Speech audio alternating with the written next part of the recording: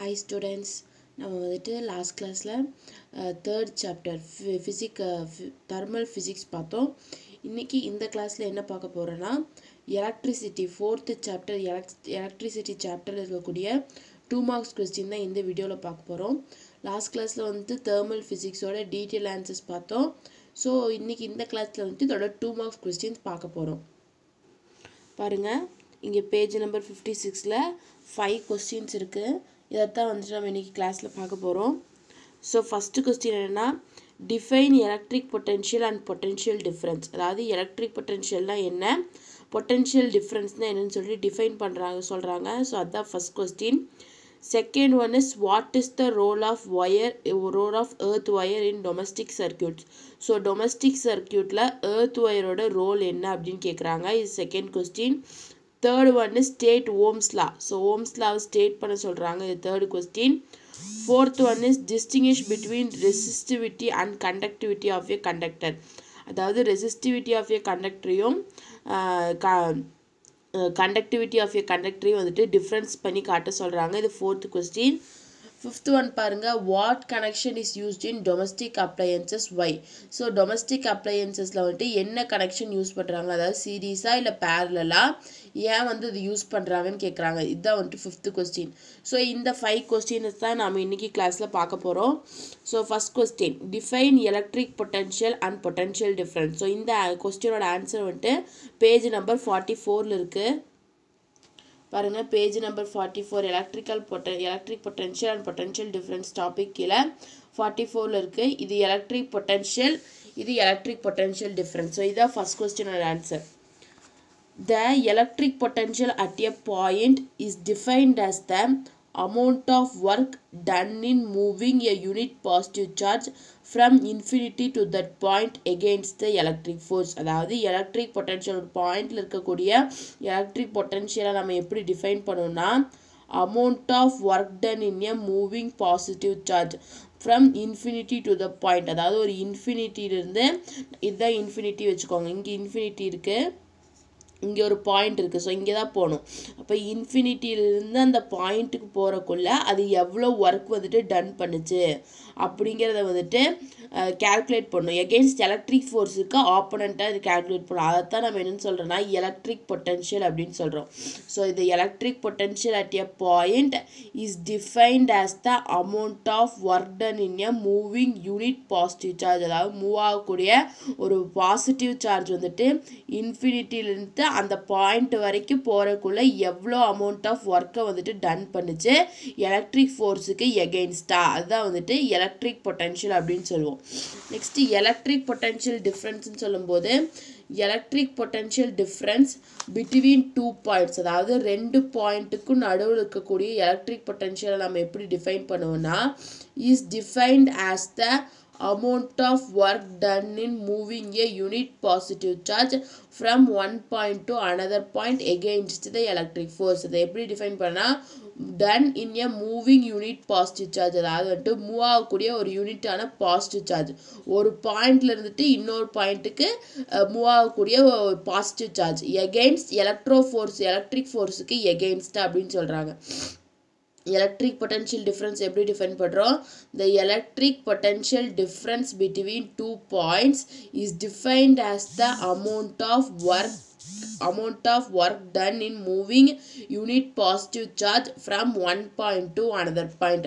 ஒரு பாயிண்ட்லேருந்து இன்னொரு பாயிண்ட்டுக்கு மூவ் ஆகக்கூடிய பாசிட்டிவ் சார்ஜ் வந்து எவ்வளோ அமௌண்ட் ஆஃப் ஒர்க்கை வந்துட்டு டன் பண்ணியிருக்கு எலக்ட்ரிக் ஃபோர்ஸுக்கு எகெயின்ஸ்டா அதான் வந்துட்டு எலக்ட்ரிக் பொட்டென்ஷியல் டிஃப்ரென்ஸ்னு சொல்கிறோம் ஸோ எலக்ட்ரிக் பொட்டென்ஷியல்னு பார்க்கும்போது the electric potential at a point is defined as amount of work done அதாவது வந்துட்டு இன்ஃபினிட்டிலேருந்து ஒரு பாயிண்ட்டுக்கு போகக்கூடிய பாசிட்டிவ் சார்ஜ் வந்துட்டு எவ்வளோ ஒர்க்கை டன் பண்ணியிருக்கு எகெயின் எலக்ட்ரிக் ஃபோர்ஸுக்கு எகெயின்ஸ்டாக அப்படிங்கிறது வந்துட்டு எலக்ட்ரிக் பொட்டென்ஷியல் எலக்ட்ரிக் பொட்டென்ஷியல் டிஃப்ரென்ஸுங்கிறது வந்துட்டு ரெண்டு பாயிண்ட்டுக்கு நடுவில் மூவ் ஆகக்கூடிய பாசிட்டிவ் சார்ஜ் வந்துட்டு எவ்வளோ ஒர்க்கை வந்துட்டு டன் பண்ணியிருக்கு எலக்ட்ரிக் ஃபோர்ஸுக்கு எகெயின்ஸ்டாக அது வந்துட்டு எலக்ட்ரிக் பொட்டென்ஷியல் ஸோ இதான் வந்துட்டு ஃபஸ்ட் கொஸ்டினோட ஆன்சர் செகண்ட் கொஸ்டின் பாருங்கள் what is the role of the earth wire இந்த டொமஸ்டிக் சர்க்கியூட் ஸோ டொமஸ்டிக் சர்க்கியூட்ஸில் ஏர்த் ஒயரோட ரோல் என்னன்னு கேட்குறாங்க ஸோ இதோட ஆன்சர் வந்துட்டு பேஜ் நம்பர் ஃபிஃப்டி த்ரீல இருக்குது பாருங்கள் ஃபிஃப்டி த்ரீல ஏர்த்திங் டாப்பிக்கில் இருக்குது இங்கே ஸ்டார்ட் ஆகுது. One two three four five sixth லைனில் திஸ் ஒயர்னு இருக்குல்ல அந்த திஸ்ஸுக்கு பதிலாக ஏர்த் ஒயர்னு மாற்றிக்கோங்க earth wire provides a low resistance path to the electric current அதாவது எலக்ட்ரிக் கரண்ட்டுக்கு வந்துட்டு இந்த எர்த் ஒயர் வந்துட்டு லோ ரெசிஸ்டன்ஸ் பாத்தை வந்துட்டு ப்ரொவைட் பண்ணுது. ஸோ ரெசிஸ்டன்ஸ்னால் உங்களுக்கு என்னன்னு தெரியும்? ஸோ அப்படி பா பாஸ் ஆகக்கூடிய கரண்ட் வந்துட்டு கம்மி ரெசிஸ்டன்ஸில் வந்துட்டு பார்த்தா இருக்கு. இந்த earth ஒயர் வந்துட்டு ப்ரொவைட் பண்ணுது. The earth wire sends the current from the body of the appliance to the earth whenever the live wire accidentally touches the body of the metallic electric appliances. So இந்த earth wire என்ன எதை send பண்ணுதுன்னா current sends the current from the body of the appliance to the earth appliance body ஒரு ஒரு applianceோட பாடியிலிருந்து கரண்ட்டை வந்துட்டு earthக்கு சென்ட் பண்ணுது whenever a live wire accidentally touches the எப்போ அப்படி செ- இது பண்ணுது ஒயரில் த்ரீ ப்ளக்ஸ் இருக்கும்ல அதாவது அதில் லைவு ஏர்த்து இன்னொரு இன்னொரு இது பின் இருக்கும். அதான் சொல்கிறாங்க எப்போவாச்சும் அந்த லைவ் ஒயர் வந்துட்டு ஆக்சிடெண்ட்டாக மெட்டாலிக் எலக்ட்ரிக் அப்ளைன்சஸோட பாடியை வந்துட்டு டச் பண்ணும்போது இந்த e-, எர்த் ஒயர் வந்துட்டு கரண்ட்டை எர்த் ஒயர் வந்துட்டு கரண்ட்டை வந்துட்டு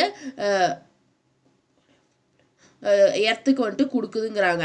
Thus the earth wire serves as a protective conductor which save us from the electric shocks. அதான் என்ன சொல்கிறாங்கன்னா earth wire வந்துட்டு ஒரு protective கண்டக்டராக இருக்குது அது வந்துட்டு electric shocks வந்து சேவ் பண்ணுது. அந்த எலக்ட்ரிக் ஷாக்லேருந்து நம்மளை சேவ் பண்ணுதுங்கிறாங்க. அதாவது ஒன்றும் இல்லை. எர்த் ஒயர் வந்துட்டு லோ ரெசிஸ்டன்ஸ் பார்த்த கொடுக்கும் எலக்ட்ரிக் கரண்ட்டுக்கு எப்போவாச்சும் இந்த the earth wire sends the current from the body.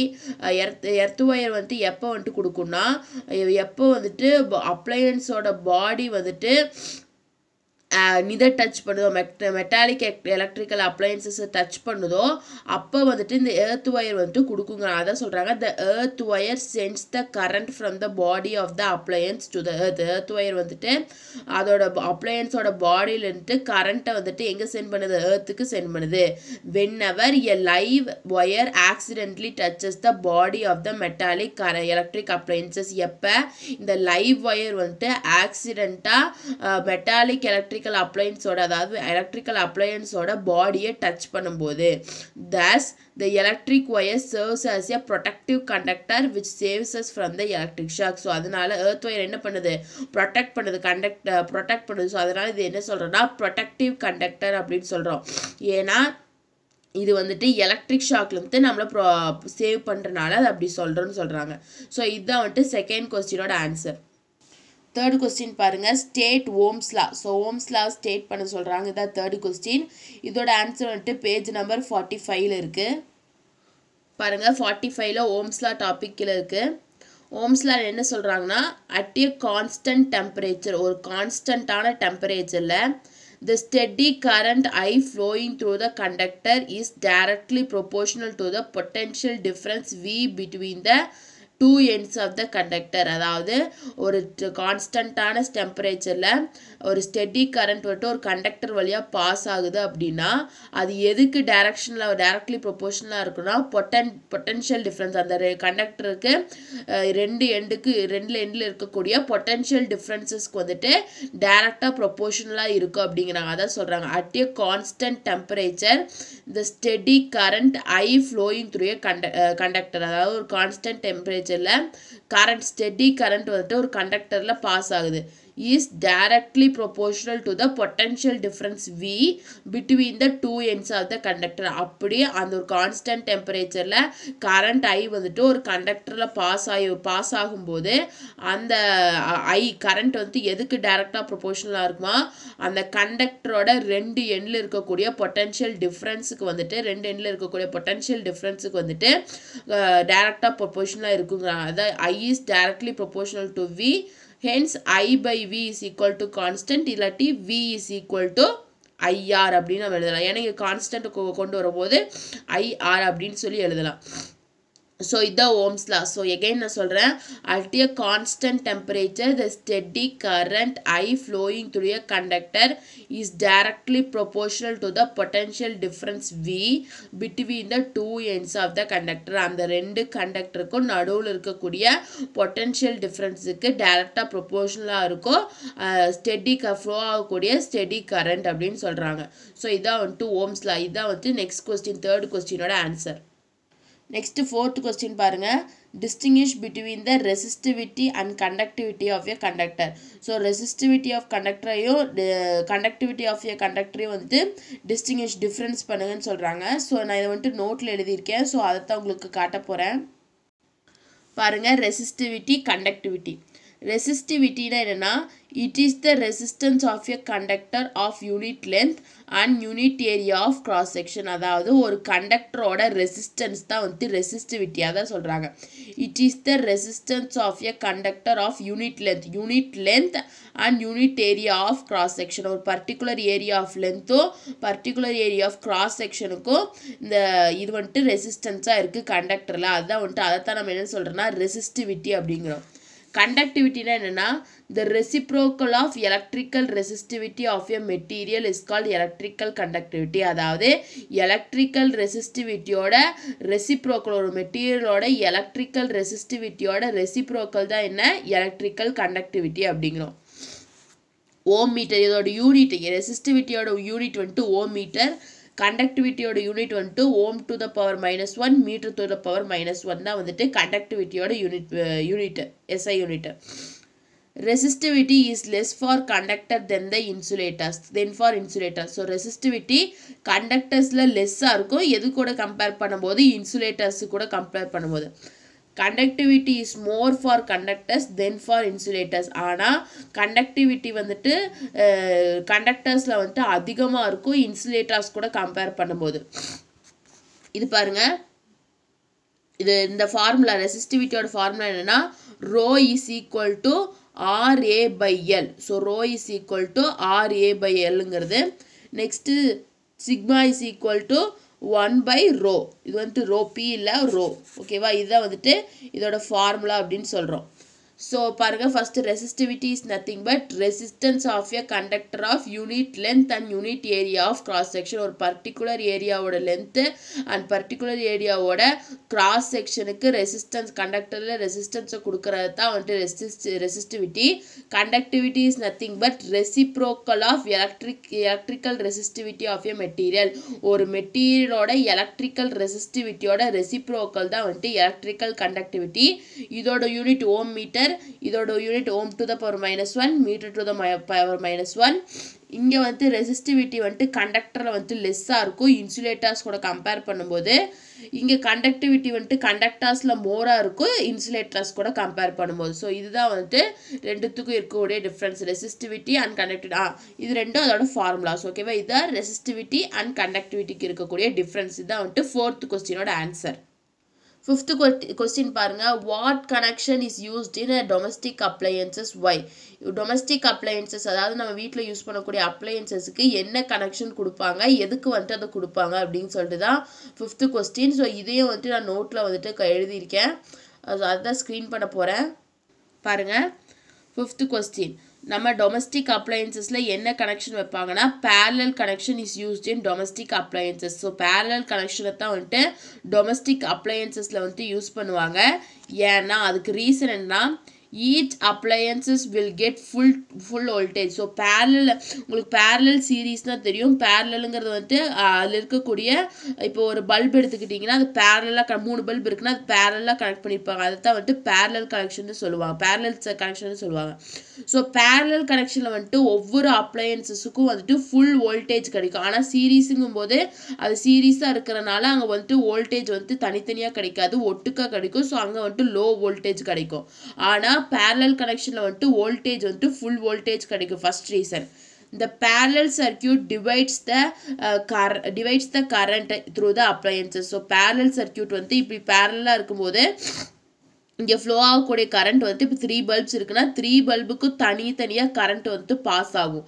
So இது வந்துட்டு second reason each appliances will get the proper current depending on its resistance so ஒவ்வொரு அப்ளையன்சஸும் நம்ம கனெக்ட் பண்ணியிருக்கக்கூடிய ஒவ்வொரு அப்ளையன்சஸுக்கும் ஒரு ப்ராப்பரான கரண்ட் கிடைக்கும். அதுக்கு ஏற்ற ரெசிஸ்டன்ஸுக்கு தகுந்த மாதிரி அப்படிங்கிறாங்க. Each each of them can be put on and off independently so பேரலில் நம்ம கனெக்ட் பண்ணும்போது ஒவ்வொன்றையும் வந்துட்டு நம்ம தனித்தனியாக ஆஃப் பண்ணிக்கலாம். அதாவது வந்துட்டு ஃபஸ்ட்டு ஃபஸ்ட்டு நமக்கு இப்போ வேண்டாம் அப்படின்னா ஃபஸ்ட் ஒன்னை மட்டும் ஆஃப் பண்ணலாம். இல்லாட்டி செகண்ட் அப்ளையன்சஸ் நம்ம செகண்ட் பல்ப் வேணாம்னா செகண்ட் மட்டும் ஆஃப் பண்ணலாம். தேர்ட் வேணா தேர்ட் மட்டும் ஆஃப் பண்ணலாம். பட் சீரீஸில் பார்த்தீங்கன்னா ஒன்று ஆஃப் பண்ணாலே அங்கே கனெக்ட் ஆகிருக்கு எல்லாமே ஆஃப் ஆயிரும். ஸோ ஆனால் பேரலில் வந்துட்டு இப்படி இருக்காது. ஸோ இது ஒரு ரீசனுங்கிறாங்க ஸோ டொமஸ்டிக் அப்ளையன்சஸில் நம்ம பேரலல் கனெக்ஷன் தான் யூஸ் பண்ணுறோம் ஏன்னா அந்த பேரல் கனெக்ஷனில் அப்போ கனெக்ட் பண்ணும்போது ஃபுல் வோல்டேஜ் கிடைக்கும். ஸோ பேரல் சர்க்கியூட்டில் வந்துட்டு கரண்ட் வந்து டிவைட் ஆகும். அதாவது வந்து ஒவ்வொரு அப்ளையன்சஸ்க்கும் தனித்தனி கரண்ட் வரும். ஸோ அந்த அப்ளையன்சஸ் வந்துட்டு எவ்வளோ ப்ராப்பரான கரண்ட்டை வந்துட்டு கொடுக்கும். ஒவ்வொரு அப்ளை ஒவ்வொரு அப்ளையன்ஸுக்கும் பா ப்ராப்பர் கரண்ட் வந்துட்டு பாஸ் ஆகும். அதோட ரெசிஸ்டன்ஸுக்கு ஏற்ற மாதிரி. நெக்ஸ்ட்டு தனித்தனியாக ஒவ்வொரு அப்ளையன்சஸையும் நம்ம தனித்தனியாக ஆன் அண்ட் ஆஃப் பண்ணிக்கலாம் இண்டிபெண்ட்டாக ஸோ இதுதான் வந்துட்டு ஃபிஃப்த்து கொஸ்டினோட ஆன்சர் ஏன் வந்துட்டு டொமஸ்டிக் அப்ளையன்சஸில் என்ன கனெக்ஷன் யூஸ் பண்ணுறாங்க ஏன் வந்து அதை யூஸ் பண்ணுறாங்க கூடிய ரீசன் என்ன கனெக்ஷன் யூஸ் பண்ணுறாங்கன்னு சொல்லியிருக்கோம். ஸோ இதுதான் வந்துட்டு ஃபிஃப்த்து கொஸ்டினோட ஆன்சர் ஸோ ஸ்டூடெண்ட்ஸ் நம்ம இன்றைக்கி கிளாஸில் வந்துட்டு ஃபோர்த்து சாப்டரோட ஃபைவ் டூ மார்க்ஸ் கொஸ்டின் பார்த்துட்டோம். ஸோ நம்ம நெக்ஸ்ட் கிளாஸில் என்ன பார்க்கலாம்னா டீட்டெயில் ஆன்சர்ஸ்லாம் நெக்ஸ்ட் கிளாஸில் பார்க்கலாம். ஏதாச்சும் டவுட் இருந்தால் கமெண்ட் பண்ணுங்கள் இந்த வீடியோ கிளாஸ் பிடிச்சிருந்தா லைக் பண்ணுங்கள் ஷேர் பண்ணுங்கள் சப்ஸ்கிரைப் பண்ணுங்கள் தேங்க்யூ